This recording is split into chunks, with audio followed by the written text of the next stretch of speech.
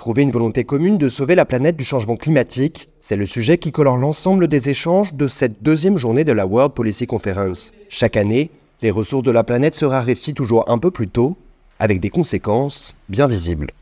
Lorsque vous regardez la sous-région ouest africaine, qui est une région très arrosée, mais les fleuves, les fleuves tarissent, le sable remonte, le désert avance, il y a moins de terres arables, donc l'écosystème se dégrade. Ce sont les conséquences de la non prise en compte du changement climatique. Limiter le réchauffement climatique, réduire les émissions de carbone, ce sont les principaux objectifs des COP successives.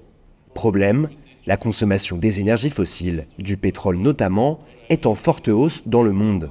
Des ressources largement utilisées par les pays du Proche-Orient, comme les Émirats arabes unis ils ont un coût de production des hydrocarbures qui est parmi les plus bas au monde. Les autres producteurs devront réduire leurs investissements, leur production, et eux continueront de produire parce qu'en fait, ils sont les plus performants. Et donc, ils ont une performance économique et maintenant, ils vont essayer de développer une performance environnementale. Ça veut dire donc réduire au maximum l'empreinte carbone de leurs hydrocarbures. Continuer à produire et à vendre des énergies fossiles au monde entier, les Émirats arabes unis l'assument.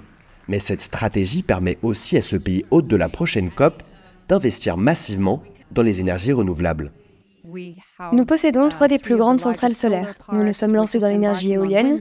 Nous avons également des centrales nucléaires. Nous nous sommes vraiment diversifiés. Et aujourd'hui, plus de 70% de notre PIB n'est plus basé sur le pétrole.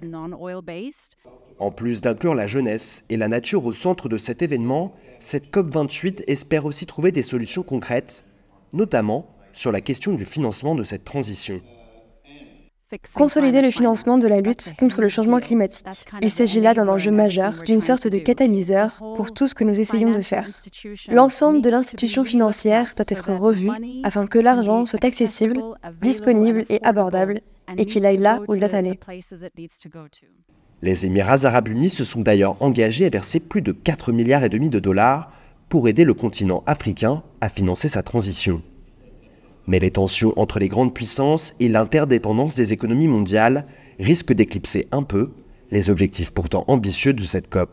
C'est une situation très euh, tendue dans laquelle il est difficile de se coordonner par rapport à ces défis communs auxquels nous sommes confrontés, à commencer par le changement climatique. Il faut donner la priorité à avancer, à réaliser des investissements importants. Et puis si ça doit s'accompagner de mesures un peu restrictives pour permettre ces investissements, pour les rendre possibles, je crois qu'il vaut mieux des investissements avec des clauses problématiques que pas d'investissement du tout, étant donné l'urgence de la transition climatique.